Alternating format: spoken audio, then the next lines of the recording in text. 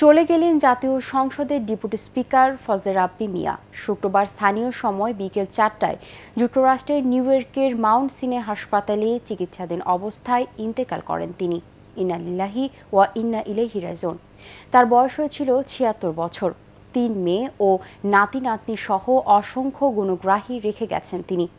তার মৃত্যুতে রাষ্ট্রপতি আব্দুল হামিদ, প্রধানমন্ত্রী শেখ হাসিনা, স্পিকার ডক্টর শিরিন শারমিন চৌধুরী, বিরোধী দলীয় নেতা বিকম রওশন এরশাদ এবং জাতীয় পার্টির চেয়ারম্যান গোলাম মোহাম্মদ কাদের গভীর শোক জানিয়েছেন। আরও জানাচ্ছেন জাহিদুল আলম।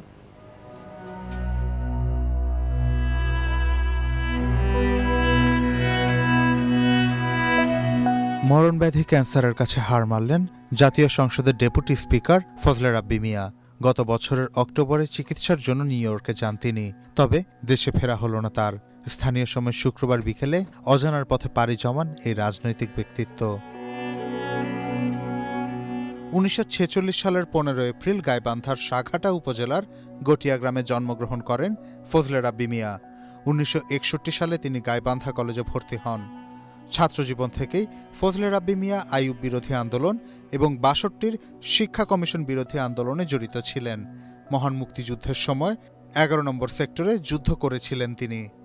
বাংলাদেশের স্বাধীনতার পক্ষে বৈশ্বিক জনমত গড়ে তুলতে কাজ করেন এই বীর মুক্তিযোদ্ধা।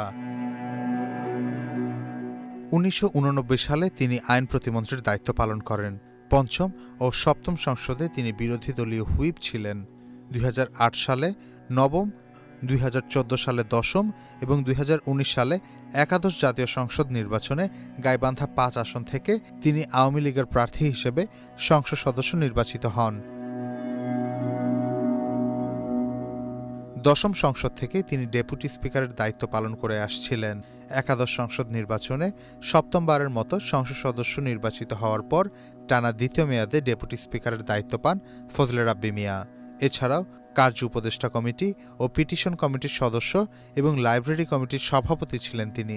যদি নিজে বলেন বা কেউ যদি তাকে বলার চেষ্টা করেন যে তিনি সংসদের প্রণেতা ন I don't accept it the people should not accept it দেশীয় শিল্প সাহিত্য ও সংস্কৃতির গভীর অনুরাগী ছিলেন ফজলে রাব্বি মিয়া।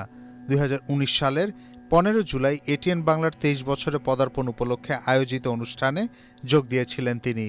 আমি এটিএনের চেয়ারম্যান সাহেব সহ এটিএনের সকল কলা কুশলীদেরকে আন্তরিক শুভেচ্ছা জ্ঞাপন করছি। ডেপুটি স্পিকারের মৃত্যুর সংবাদে দেশের রাজনৈতিক অঙ্গনে শোকের ছায়া নেমে এসেছে। সংসদীয় গণতন্ত্রে তার অবদান চিরস্মরণীয় হয়ে থাকবে বলে মনে করেন রাজনীতিবিদ ও বিশিষ্টজনরা। জাহিদুল আলম এটিএন বাংলা